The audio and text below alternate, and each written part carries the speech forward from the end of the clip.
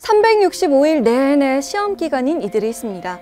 바로 책상 위에서 마라톤 중인 취준생입니다. 취업률은 매년 낮아지고 있고 공무원 시험 경쟁은 더욱더 치열해졌습니다. 2018년 서울시 공무원 7199 공채시험 경쟁률은 63대 1. 이 중 가장 많은 수험생이 몰리는 일반 행정직 9급의 경우엔 77대 1까지 솟구쳤죠. 미래는 깜깜한데 매일 반복해서 공부하려니 불안하고 외롭고 흔들리는 멘탈을 꽉 잡기 위해서 취준생들은 생활까지 스터디로 다잡기 시작했어요. 이름하여 생활 스터디. 취준생 사이에 유행하는 신조어입니다. 다양한 주제를 정해 온 오프라인 상에서 만나 생활을 규제하는 모임을 말하는데요. 가장 일반적인 생활 스터디는 기상 시간을 서로 인증하는 기상 스터디, 도서관 퇴실 시간을 체크하는 퇴책 스터디입니다. 그리고 각자 공부하다 모여서 함께 밥만 먹는 밥터디도 있어요.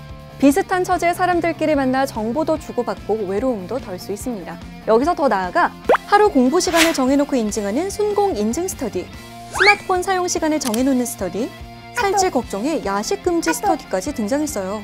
규칙도 이렇게나 자세해요. 회사원들 연차, 반차 내듯 컨디션 조절을 위해 휴무 반휴를 신청해 쓸 수 있고요. 스터디 성격에 따라 잡담, 사적인 시간은 절대 공유하지 않기도 합니다. 또 인증샷 올리는 조건도 까다롭습니다.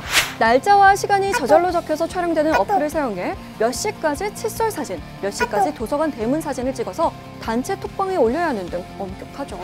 한 조사기관에서 설문조사를 했는데요.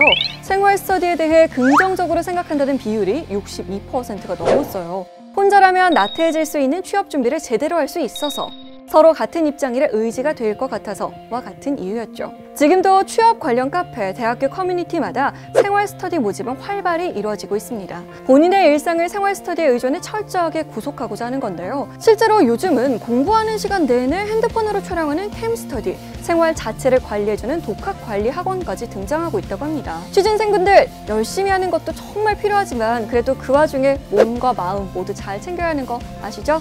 자기 관리 철저히 한 만큼 올해는 많은 분들이 꼭 결실을 맺을 수 있길 저도 응원하겠습니다.